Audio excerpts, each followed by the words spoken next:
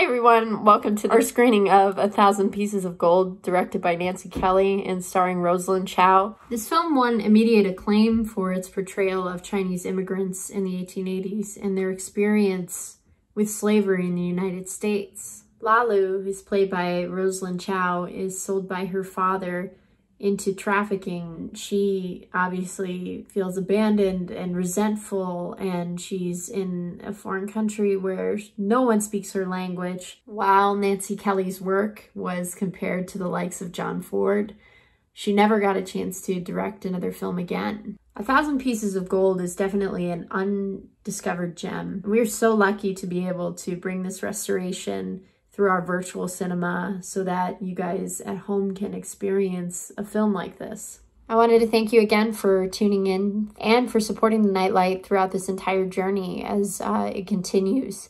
Um, we are extremely thankful to all of you who have supported us during this time. And while we are continued um, at this moment to be closed, we're taking all the steps and the proper precautions needed um, to ensure that we can reopen safely for everyone.